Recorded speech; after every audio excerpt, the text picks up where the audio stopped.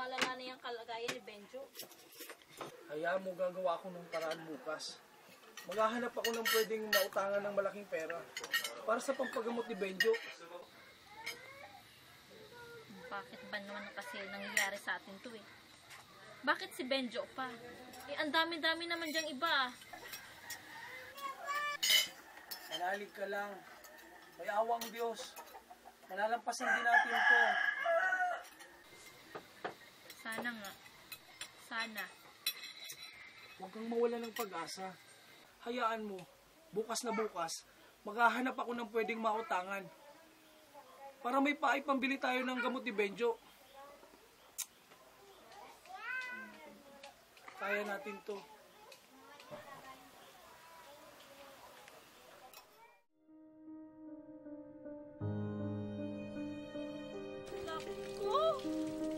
Maraming maraming salamat. Pakisabi sa inay mo, baka pwede sa susunod na linggo maglaba ulit ako. Oh, sige at sabihin ko po. Ate, punta na rin po pala ako. Sige, sige, salamat. Malaking, malaking tulong to.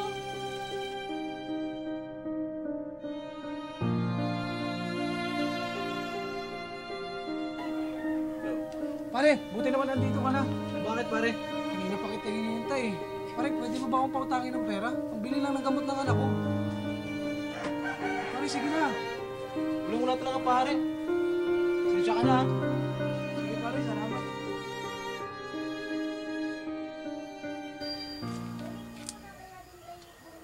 Oh, Lito.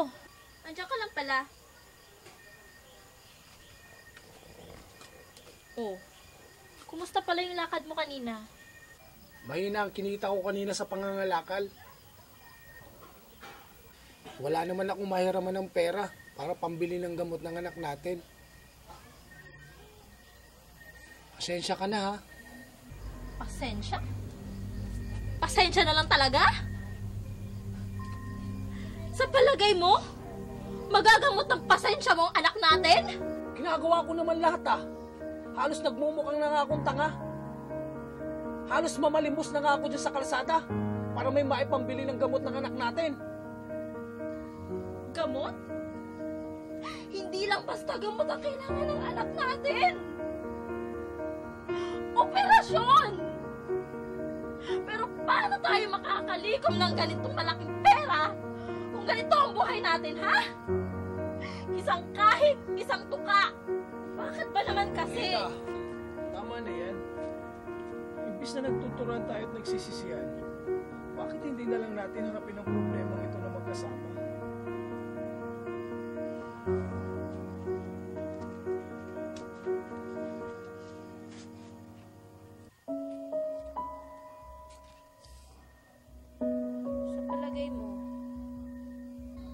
pag-asa pa kayang gumaling ang anak natin?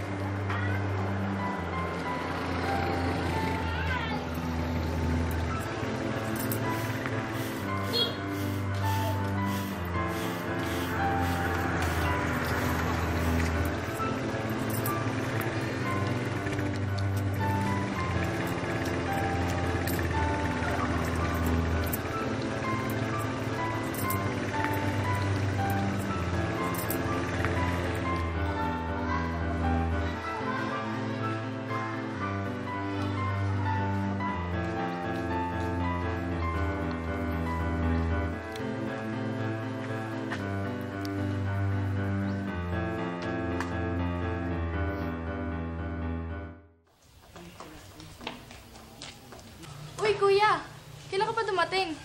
Ah, nang isang buwan lang. Ah, kamusta na mga boys sa ibang bansa? Masaya. Ah, yung regalo ko, dala mo ba? Kailangan ko nga eh. Dala mo? Oo, nasa bahay. Dala mo mamaya ha. Oo. Ah, may asawa ka na ba kuya? Ah, wala pa eh. Eh, ikaw? Ah, wala pa rin eh. Ganun ba? Ah, Iha, may problema ka ba? Kanina ka pa kasi kalabit ng kalabit eh, ka- habang kausap ko si kuya. Ganon din nga po ang ipinunta ko dito. Gusto ko po sanang pag-usapan natin ang tungkol sa kapatid ko. Ah, yun ba ang pinunta mo dito, Ining? Opo, halos dalawang taon na po kasi nakikipaglaban ang kuya ko sa brain tumor niya. Mahirap lang po kami at walang sapat na pera para po sa pagpapagamot sa kanya.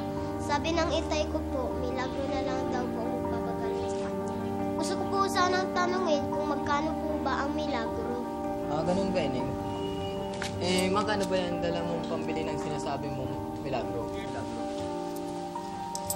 20 pesos po, galing pa po sa alkansya ko. Sana po sapat na po ito. Tamang-tama ganito. Samahan mo na ako sa bahay niyo para makilala ko ang mga magulang mo at mga kapatid mo. Sige po. Nay!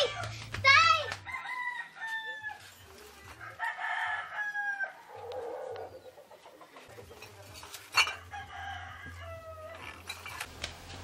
Oh, Nay! saan ka nang galing na bata ka? Kanina ka pa namin hinahanap. Oo nga naman. Alam mo bang pinag-alala mo kami? Nay! Tay! May dala po akong milagro. Doon po oh. Milagro. Magandang araw po. Magandang, Magandang araw din po. Ako po si Clark Garcia, isa po ako neurosurgeon. Eh, gaano po katotoo ang sinasabi ng anak namin? Um, ganito po eh yun. Pumunta po ang anak ninyo sa ospital. Pininto niya po sa akin ang kalagayan niyo at pati ng anak niyong may sakit. Narito po ako upang tulungan kayo. Pero, paano po mangyayari yun? Eh, wala naman po kaming pambayad sa inyo. Huwag po kayong mag-alala, misis. Ako na pong bahala doon. At saka, binayaran na po ng anak ninyo ang lahat ng gastusin sa ospital.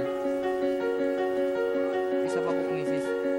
Gusto ko pong matupad ang hiling ng anak ninyo. Isa po siyang mabuting bata. Ako, maraming maraming salamat po.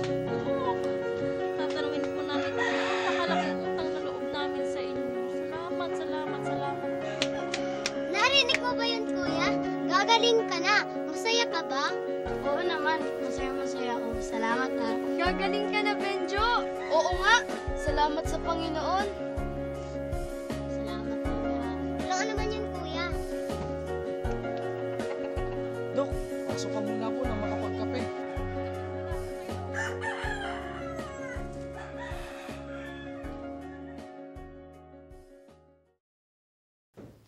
ba kung magkano gasto sa Little Miracle operation mo na yan?